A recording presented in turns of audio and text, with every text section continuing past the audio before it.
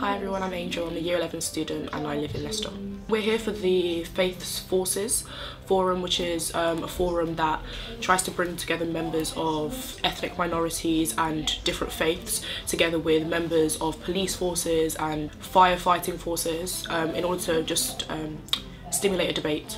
I think it's an amazing idea. I think, um, especially with the prevalence of misrepresentation in the media and um, just all the hate we see going on in the world today, I think it's so important that we're having these discussions, not necessarily arguing with each other, but just listening to other people's ideas, listening to other people's inquiries and working on how we can all become more unitive. So I think um, it's really good for me to hear um, to see members of the Muslim community, members of the Christian community here with the police officers and all talking about their own experiences, to have to hear the police officers talking about what they perceive to be hate crime and to hear people talking about their own personal experiences, I think it's just so important and so necessary and something that we need to definitely spread worldwide.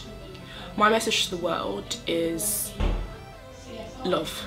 I know um, we hear it a lot, but I think the most important thing when it comes to love is recognizing that we're not perfect, recognizing our own faults, and making sure that we're working on ourselves before we start trying to tell others what the right thing to do is. I think that's one of the um, reason we have so many divisions in our society today is that so many people on instead of working on themselves and trying to be the best person they can be, they're so focused on trying to fix other people's problems. So I think love, making sure that you are being the best person you can be.